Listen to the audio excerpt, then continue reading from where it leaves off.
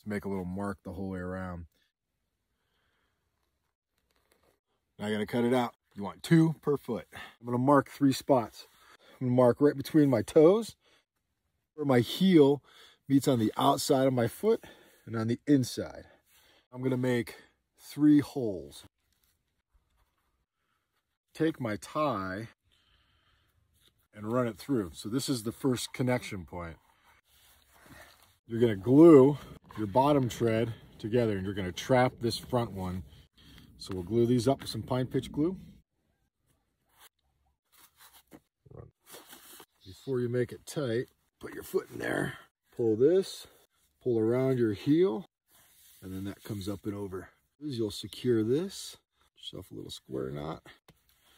Slide your foot right up to the toe, your heel strap back on. All right. Sandals.